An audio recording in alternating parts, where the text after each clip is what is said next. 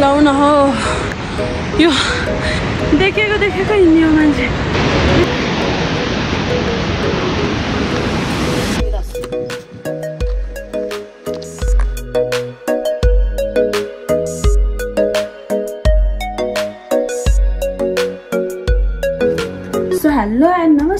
राम्रो मान्छेहरू it's me Sheetal Giri from Sitapaila hope सबैजना सन्चै हुनुहुन्छ। म पनि एकदमै फिट एन्ड फाइन छु। अनि अहिले चाहिँ म छिप्काबाट रेची हुँदै अलि माथि से कर्णाली होटेलमा। यहाँ चाहिँ वाइफाईको पनि व्यवस्था रहेछ। अनि त्यसपछि एटलिस्ट यहाँनिर म छु भने यहीँ बाहिर चाहिँ बाथरुम पनि रहेछ जस अलिकति सजिलो किनभने एक्लै हिँडिरहेको छु नि त यहाँभन्दा माथि चाहिँ झर्ना होटेल छ तर एकदमै गाह्रो भइसक्यो है। हिजो खुट्टाहरू फर्केर अनि त्यसपछि यो खुट्टाहरू त्यो यस्तो यस्तो हुँदै लडाइ जस्तो भएर चाहिँ कस्तो डिफिकल्ट भइरहेको थियो। सो अब आज अझै डिफिकल्ट रोड चाहिँ हिँड्नु बाँकी छ यस्तो हिँड्नु बाँकी छ सात किलोमिटर बाँकी छ। सम्झिँदै अहिले लामो लामो सास हुँदैछ है। अनि एकदमै डिफिकल्ट भइरहेछ। कतिचोटि त रोयो पनि हिजो। अनि भनिहालेँ नि मैले रोकोवाला भिडियो राखेँ भने चाहिँ अब फ्यामिलीलाई अलिकति हुन्छ भनेर चाहिँ म हालिदिँदा थियो है। रुन चाहिँ रोइसकेँ है म म यस्तै छ अब रुनी उठ्ने हिँड्ने होइन। आफैले आफैलाई हौसला दिने यस्तै छ अहिले। अब ठिकै छ फर्स्ट एक्सपिरियन्स हो बबाल हुँदैछ। अलिअलि दुःख कष्ट त भोग्नु परिहाल्यो किनभने स्वर्ग जाँदै हो होइन। एन्ड त्यही हो अब खुट्टा चाहिँ एकदमै पेन भइरहेछ अहिले यहाँ तल तल एङ्कल जस्तो साइडमा अनि ब्याक साइड रेडी भइसक्यो। अनि म यस्तो अनुकरण ठाउँमा आएर पनि भ्लगहरू चाहिँ हाल्न रेगुलर हाल्न चाहिँ ट्राई गरिरहेको छु। सो सपोर्ट गरिदिनु होला। बाई गरिदिनु होला। ओके सो निस्क्यौँ अब चाहिँ। बाई अहिले बाटोमा भेटौँला।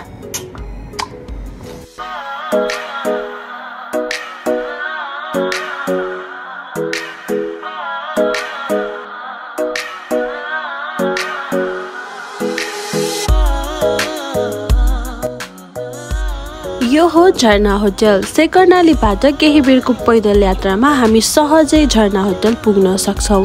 यहाँ खाना र बस्नको राम्रो सुविधा छ र साथसाथै उहाँहरूले मेरो लागि घोडाको पनि व्यवस्था गरिदिनु भयो सो अब यहाँ झरना होटलबाट चाहिँ घुम्न जानु लागेको।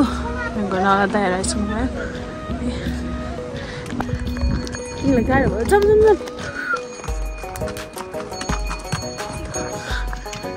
यस्तै।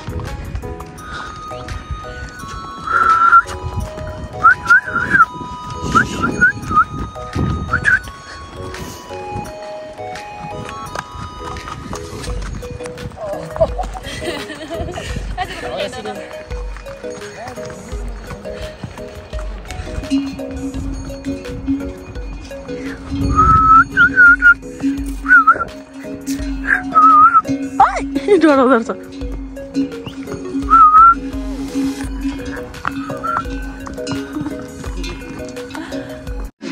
हाम्रोमा के के बन्छ हजुर। के के बन्छ अहिले खाजा जस्तो?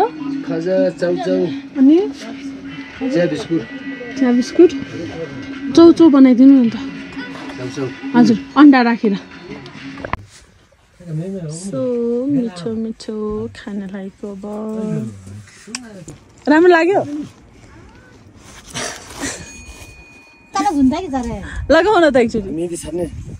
मेरो हेल्मेट हो क्या सधैँ राख्नु पर्ने यो यस्तो उयोमा यो फोटो खिच्न लिएर आएको क्या त? माथि तालदेखि गएर फोटो खिच्ने भनेर। ऊ यहाँ हेर्नु त मेरो यो।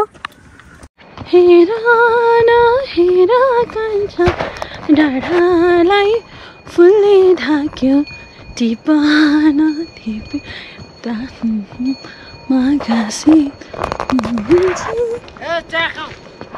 खाऊ खाऊ खाऊ खाऊ भर्खरै खाइयो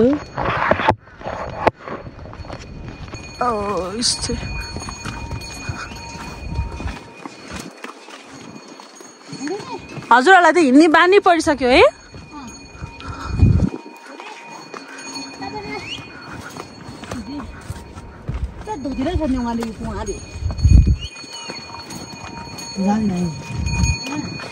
झरना होटलबाट निस्केको केही बेरको यात्रा पश्चात हामी पुग्यौँ पलाम टी हाउस र यस पश्चात कुनै पनि टी हाउस नहुनाले हामीले आफ्नो पेट पूजा भने यहीँ गऱ्यौँ।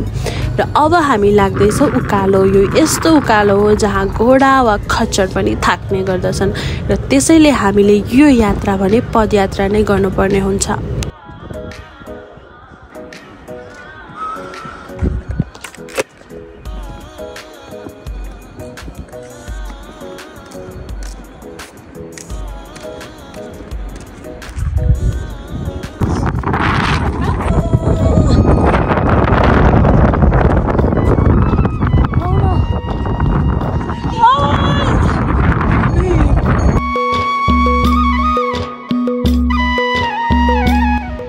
बेरको निकै गाह्रो अनि अप्ठ्यारो पदयात्रापछि अब भने निकै सुन्दर भौगोलिक दृश्यहरू देखा पर्न थाले। शरीर थाके पनि त्यहाँको सुन्दरताले मन लोभ्याउँदा सारा थकान बिर्साउन थाल्यो। जति जति अगाडि पाइला चाल्यो त्यति त्यति नयाँ किसिमको भूगोल देखा पर्थ्यो र नयाँ नयाँ भूगोलमा रमाउँदै सारा थकान नै बिर्साइदिन्थ्यो। पैदल यात्रा शरीर थाके पनि मन नथाक्ने एउटा अनौठो यात्रा रहेछ। लौ न हो। यो देखेको देखेको हिँड्यो मान्छे।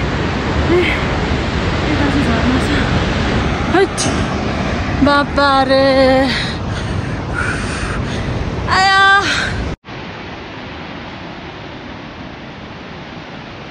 डोल्पा जानको लागि सवारी साधन भई जाने मार्ग मात्र डरलाग्दो नभइकन फोक्सुन्डो जाने पैदल मार्ग पनि त्यत्तिकै गाह्रो र अप्ठ्यारो देखिन्छ।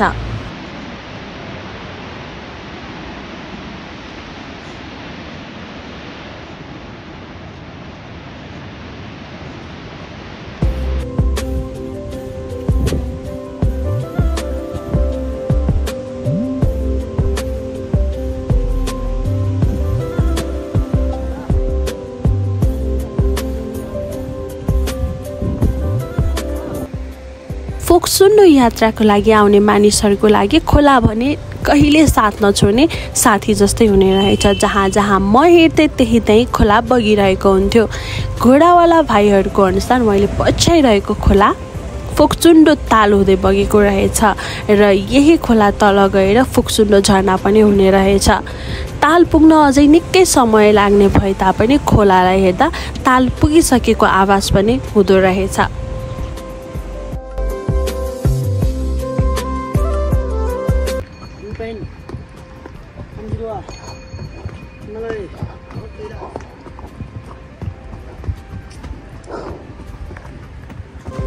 घोडावाला भाइले आफू त्यहीँको रैथाने र आफूलाई थाहा भए बमोजिम विभिन्न होटलहरूको नाम भन्दै यसमा बस्दा ठिक हुन्छ भनेर सल्लाह सुझाव दिन थाले।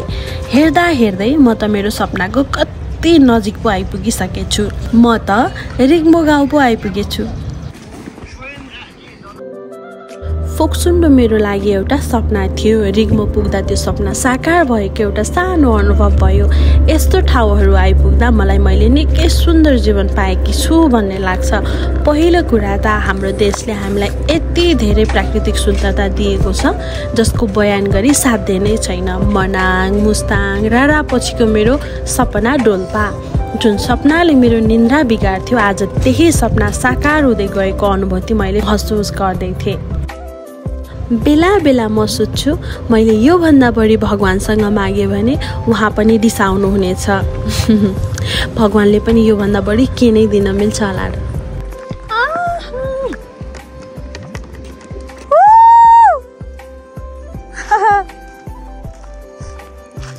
सो धेरै दुःख गरिसकेपछि आज बल्ल ताल देखिसक्यो है यति खुसी खुसी यति खुसी कि? ओ माई गड फोक्सुन्डो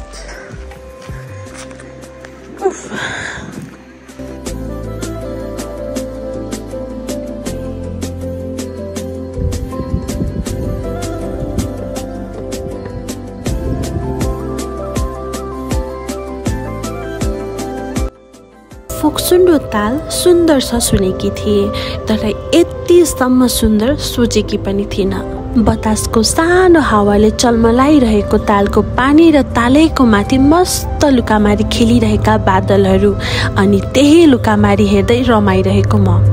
मानव फोक्सुन्डो तालमा त्यस दिन कुनै उत्सव थियो। खुचियालीको एउटा बेनामी उत्सव।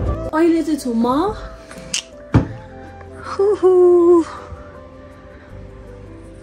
फोक्सुन्डो लेकको सँगै है। सो अब चाहिँ म भ्यू टावर जान्छु जुन चाहिँ यहाँ माथि छ। हो त्यो देखिरहेको त्यो बादलवाला डाँडामा गएर चाहिँ हेर्ने हो। फोक्सुन्डोलाई अनि वाइ सेपको देखिन्छ है राति चाहिँ राम्रो सुत्न सकेन यसै डर लागेर मोबाइलको फ्ल्यास लाइटमा सुत्नु परिरहेको थियो। अनि त्यही हो। अब चाहिँ माथि जान्छु अनि अल्टिट्युडले चाहिँ अलिअलि हानिसक्यो। सो तातो तातो लुगा लाउँछु। माथि जान्छु अनि बाटो एकदम अप्ठ्यारो छ डर लाग्दो छ। सो बिस्तारै जान्छु मेबी लाग्ला टु थ्री आवर्स मिनिमम कस्तो कस्तो जानुपर्ने बानी छैन नि त। सो अनि त्यही हो बाटोमा भेटौँ अब। सो अब चाहिँ भ्यू टावर जानको लागि निस्किनु लागेको।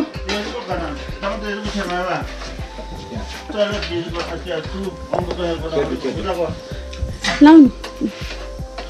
कतिखेर आउनुहुन्छ अब अलिकति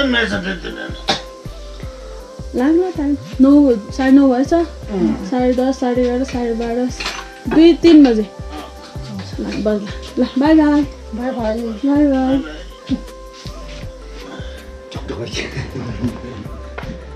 अब निस्क्यौँ सो अब चाहिँ म जाँदैछु भ्यू टावर। सो यता छु म। अनि हेलमेट चाहिँ मैले बन्दोबस्त लगाइदिइसकेँ आज पनि। खच्चरमा पठाइदिएर। अनि खच्चरमा चाहिँ सामान पठाउन चाहिँ कस्तो नखोलेको र सामान पठाउन चाहिँ खच्चरमा चाहिँ पर केजी चाहिँ फोर्टी रुपिस दिनु पर्दो रहेछ। सो मेरो हेलमेट चाहिँ दुई केजीको छ होइन? सो दुई केजी भइसकेपछि मैले एट्टी रुपिसमा मजाले पुऱ्याउन मिल्यो नि त। सो पठाइदिइसकेँ भ्यू टावर। माथि डाँडामा पुग्नु छ है? यता छ ताल। माथि जानु छ। देखेरै आँटिसकेँ केही छ? फेरि पनि बोकेको छु। किनभने केही केही प्लान पनि छ। सो अनि पानी बोकेको छु। चक्लेट सक्लेट बोकेको छु।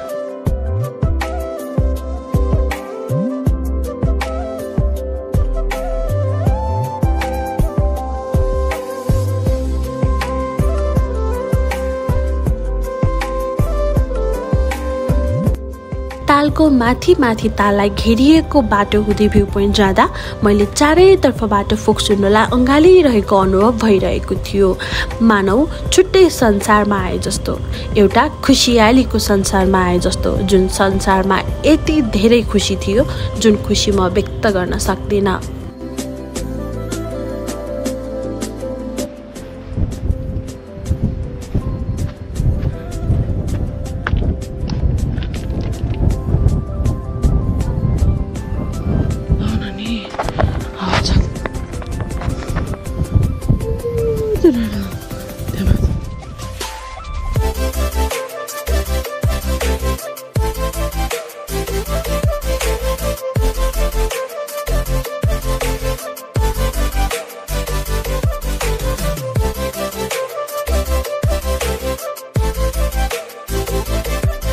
अब चाहिँ मेरो डेस्टिनेसन आइसक्यो। तर थप्पो एनर्जी छैन। म हिँडिरहेको छु त केवल मेरो सपनाको लागि। नथिङ मोर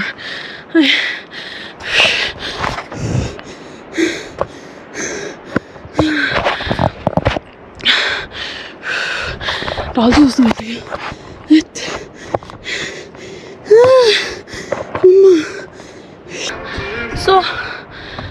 तलबाट चाहिँ रिङ्मोबाट चाहिँ डेढ घन्टामा चाहिँ म भ्यू टावर आइपुगेँ। है भनेपछि झन् झनै लोकलहरूको टाइमिङ अनुसार है हिँडेछु यार। जिन्दगीको पहिलो ट्रेक मेरो।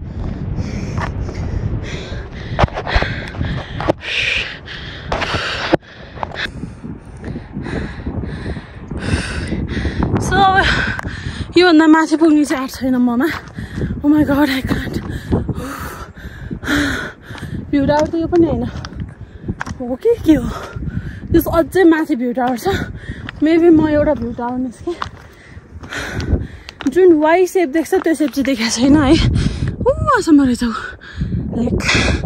ओ माई गड फोक्सुन्डो ताल four point eighty five square किलोमिटरमा फैलिएको छ। यसको कुल लम्बाइ five point sixty four kilometre र चौडाइ nine hundred seventy five metre रहेको छ भने यसको अधिकतम गहिराइ हन्ड्रेड फोर्टी फाइभ मिटर रहेको छ।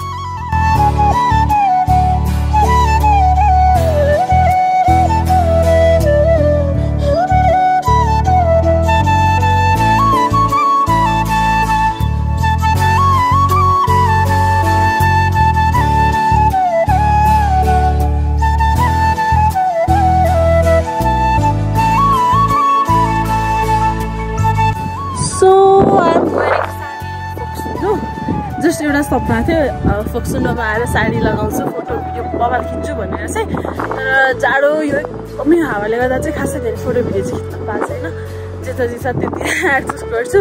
अनि प्लस खिचिदिने मान्छे पनि छैन नि त खासै। सो द्याट्स भाइ अनि अब चाहिँ ड्रेस सेट गरेर चाहिँ एकदमै चिसो भइसक्यो। हरेक यात्राले मानिसको जीवनमा एउटा बेग्लै महत्त्व राखेको हुन्छ। यो वर्ष मैले मनाङ मुस्ताङ रारा इलाम लगायत अन्य थुप्रै ठाउँहरूको यात्रा गरेँ। तीमध्ये सबै यात्रा उत्तिकै महत्त्वपूर्ण पनि रहे। फोक्सुन्डो केही नयाँ ढङ्गमा आउन चाहन्थे जसमा उत्सुकताभन्दा बढी प्रश्न अनि डरहरू पैदा भएका थिए। तर भ्यू पोइन्टमा उभिएर तल फोक्सुन्डो ताल हेर्दा मनमा एउटा बेग्लै भावनाले जन्म लियो र त्यही सानो भावनाले मलाई म पूर्ण भएको आभास पनि दिलायो।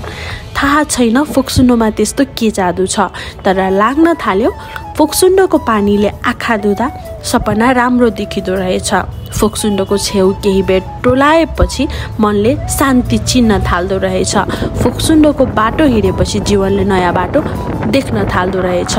यो सबै फोक्सुन्डो देखेपछि खुसीले नागेको सीमा र हामी सम्पूर्ण पैदल यात्रीले गरेको एउटा अनुभव हो।